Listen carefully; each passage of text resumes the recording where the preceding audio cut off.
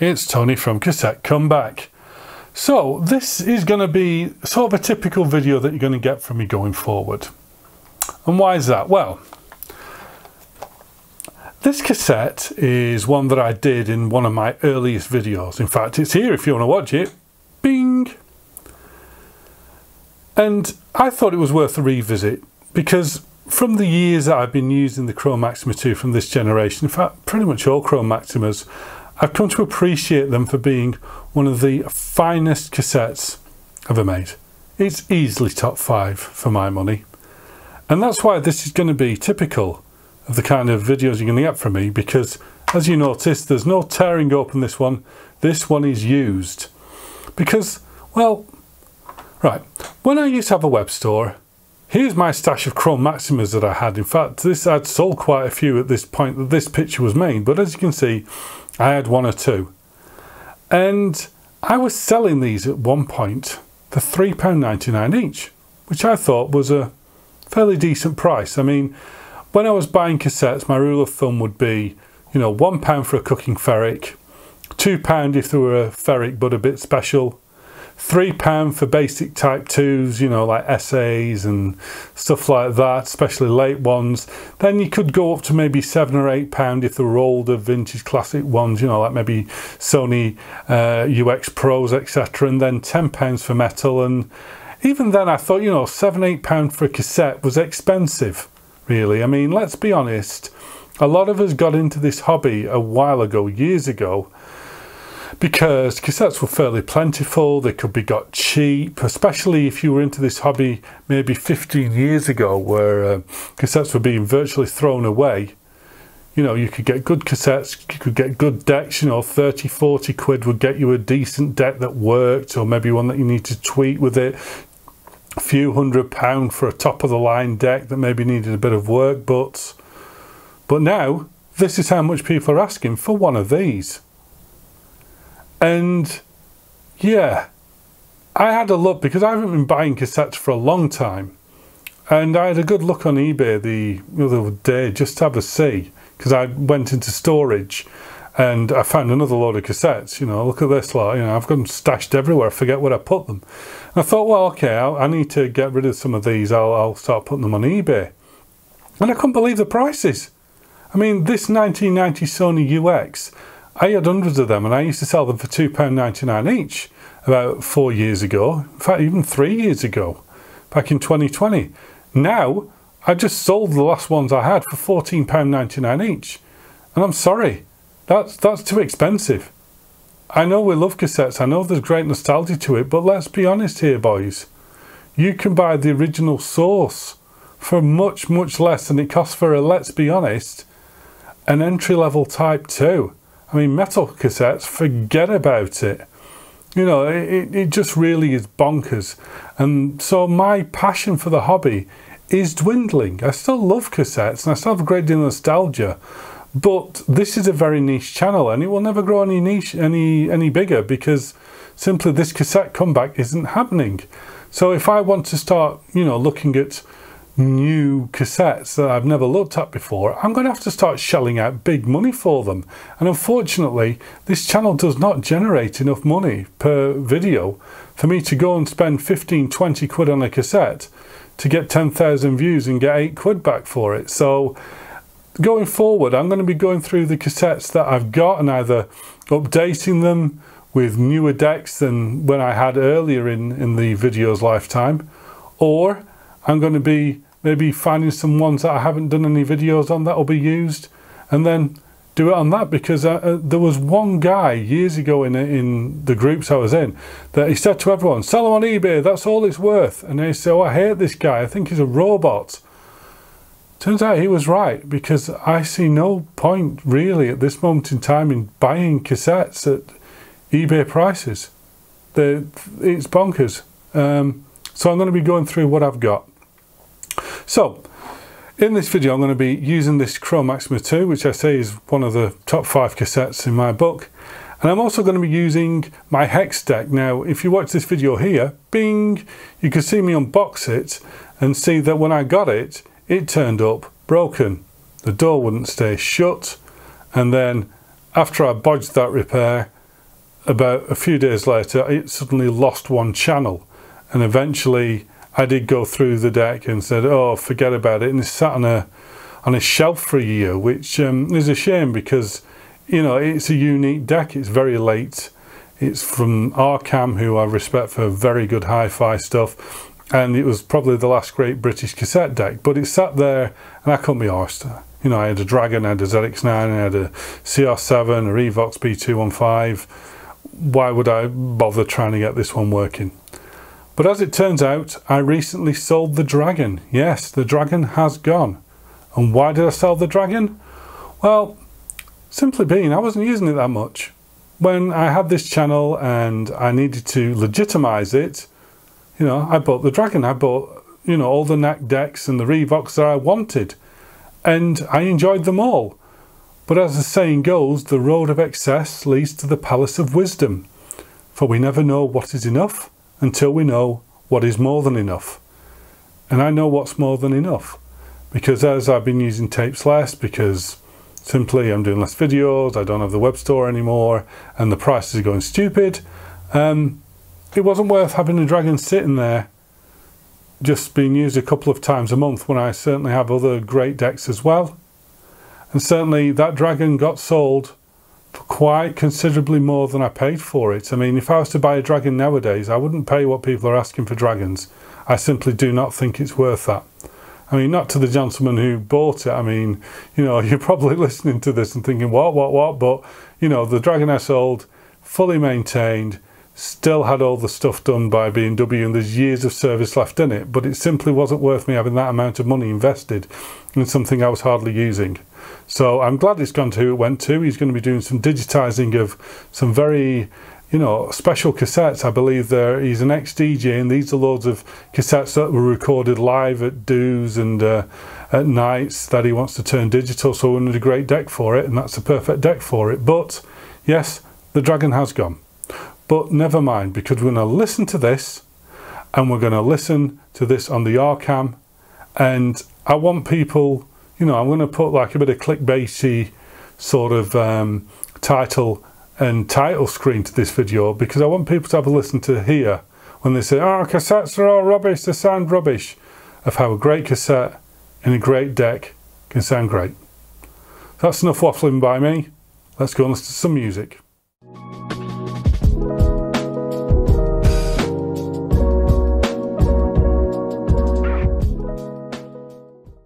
So there it is, my hex deck. But that's finally working and turns out it was well worth the effort. So before I begin recording, if you haven't watched that video, which I linked in the earlier part, just to, to go on a bit about Chrome cassettes if you're new to this. Now, Chrome has become the uh, the stereotypical word for a Type 2 cassette, you know, just like Hoover has become the stereotypical word for a vacuum cleaner. The first Type 2 cassettes were chrome, chrome pigment, and they were developed by DuPont, and BASF also created the chrome pigment. Now, the chrome pigment was an expensive pigment to make, and as such, when it came to selling it, it was a high, highly priced object, or more importantly, it would cost even more for you to be able to make the facilities to make your own chrome pigment. And that's why at the start, people like Sony did make pure chrome cassettes. However, after a while, they decided they were going to make a new formulation for Type 2, which turned out to be cobalt doped ferric. So that's basically Type 1 cassettes, but doped with cobalt to give them better uh, coercivity. So, as such, Japanese decks going forward, the internal calibration, the bias, were calibrated for Type 2 to, to cobalt ferric Type 2 and not to chrome pigment Type 2. So that's why, for example, when I used to buy BASF Chrome in the 80s, I only bought them once, tried them in my Japanese low end deck, and guess what? They sounded muddy, they sounded quiet, and they didn't sound good. So I didn't buy them again. But I didn't know in them days the reason was is because Japanese decks were not calibrated to handle a pure chrome type 2. Most European decks, and when I say European, I mean this is Arcam, English, late, but like your Bic, your Jewels, etc., your Tandbergs, they could handle chrome pigment cassettes much better than, for example, Japanese made decks. Because the only other people that really made pure chrome tape were SKC from Korea. But even then, they cobalt doped the chrome so that it could handle a bit more level. Because you shouldn't record a chrome cassette at more than 0 dB. And the reason being is that they are naturally low hiss, much less hiss than a ferrocobalt type 2. But a ferrocobalt type 2, in order to negate the hiss, you would record them hotter. You'd record them at plus 4, plus 6, etc. And then you turn your amplifier down so it sounded just as loud, but you couldn't hear the background hiss. Whereas on a Chrome, you record them at zero because you didn't need to record them any higher because they were just inherently low hiss. And plus they're distorted if you took them much higher, but you didn't need to. But anyhow, I digress. So you've got to be careful what decks you can use a pure chrome type 2 in. Uh, you usually are better off with a deck which has some sort of calibration facilities. You put it into a Japanese made deck which has no calibration facilities and it's not going to sound good put it in a deck which has auto calibration. It'll try, sometimes fail, sometimes won't. And again, decks with manual calibration, give it a do. Not all of them can. But the best decks can. I mean, for example, all my Nakamichis, they love pure chrome, not a problem. And this Arcam be in English, it loves pure chrome too. So let me just put this in and calibrate it up. So the calibration on this is very simple, it's not as complicated as the Nakamichis. Basically, it already knows it's a Type 2. I really wish there was some way that it would show the tape so I know that it's actually recognised the tape type, but it has. So, I just fast forward the tape on a bit. Right, I press this Caltone button, and it says it's on. Now I record, and we've got two levels, calibration and bias. Best thing to do is to bring the calibration up. So this is the level, basically. Okay, so we've got the level nice and firm. We're a bit over biased, so let's take some of the bias off but by adding some. Let's have a look. That sounds wrong, but do it this way. Okay, we've got the bias about spot on. Let's turn the calibration back. Take a bit more of the bias. And there we've pretty much got the tape calibrated on and it's it's not massively, I mean the point in this way and this way, so it's not massively like I've had to twist it all the way around to get it there. This deck was designed obviously to take a pure chrome. So let's stop it there. So this uh, tune I'm going to use now, because like I say, I can't use a real tune, which is a shame because I'd like to have ran Jungle Bill by Yello or something through this, which is a wonderfully stereo, well made, oh, wonderful track. I love Yello. But I can't use that. So I'm going to use something which is blues. Yeah, it's got lots of piano in it, lots of guitar, it's quite quiet. So rather than just use my usual pumping, you know, sort of dance electronic music, let's use something subtle and quiet so we can have a proper listen to how good a cassette can really sound. I'm not using any Dolby because you don't need to and I don't want to, but this combination of deck and this combination of cassette, I, I, if it gets better, my ears can't tell. Simple as that. And perception is more important than reality. So, let's get this recording and you can have a listen for yourself.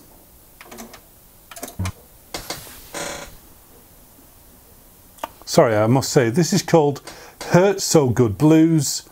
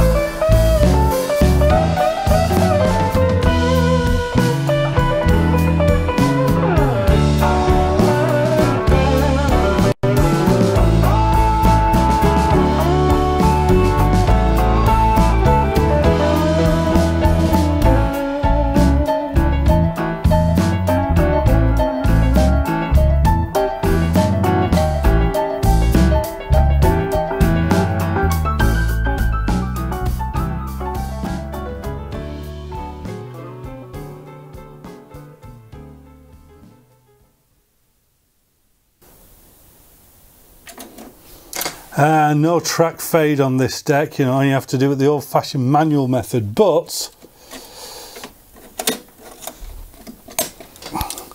I think you'll agree that too is a hell of a combo. It really is. I mean, it's beautiful, delicate. Yeah, I mean, yeah, you know, it's not identical, but it never is. But that's the beauty of it. You see, you can't compare to the source once it's been recorded. Once it's been recorded, it either sounds good or it doesn't. And this sounds fantastic. So, I mean, I, I hate the phrase, you know, oh, it's a dragon killer. It's not. It, it, doesn't work like that. The Dragon has a reputation it's got, not purely based on its components and its specs. You know, many modern supercars, you know, they, they, they can outperform a McLaren F1. They're faster, they're lighter, they've got better systems in them. But it's the whole package that makes the McLaren F1, I believe, the greatest road going car ever. And it doesn't matter if other cars are faster or lighter or better look, it doesn't matter. It's a package. So I'm not going to say this is a dragon killer because nothing is. A dragon's a dragon and that's it. Stop trying to kill it. If you hate it that much, buy one, then you'll enjoy it. But anyway, the point is, this is a deck that a lot of people say, oh, that deck, oh, that it's it's it's just a Denon mech. I mean, yeah, look at this picture I took when I was actually fixing this and the, the, the front came off. It is. It's purely a mech from a Denon uh, DRM 800A, I think it is, with the heads. But that negates all the wonderful circuitry behind it. You know, it's got six separate boards for the Dolby circuits in this. It's got a separate power supply, which has got the biggest transformer I've ever seen. It's got separate boards for the interface, separate boards for all the audio hardware. It's more than just the mech and the heads, because the Arcam engineers went mad at the back end making their dream deck. And as you just heard there, this I think it's one of the best sounding decks ever. And like I say, I can speak as somebody that's had a Revox B215, a Dragon, still has a CR7, still has a ZX9. No, I've never had a Tandberg and I will never have a Tandberg. But I don't care because this cassette deck, every cassette I've thrown at it, even the cheapest Type 1, it's done a fantastic job that sounds brilliant. And when you put in a cassette like this, yeah, you, you, you've got about as good as cassettes get in my book. And anyone who says that that sounds crap is either lying or their ears don't work. So that's it for that video. Hope you enjoyed it. Um, if I come across some more interesting stuff in my stashes while I'm looking, we'll have a listen to some more cassettes. But other than that, happy taking, uh, happy taping. Yes, happy taping. That's what I wanted to say happy expensive taping as it turns out to be lately. You know, watch, uh, you keep an eye on those pennies, boys and girls. But other than that, take care and I'll see you in the next one. Bye bye. The truth.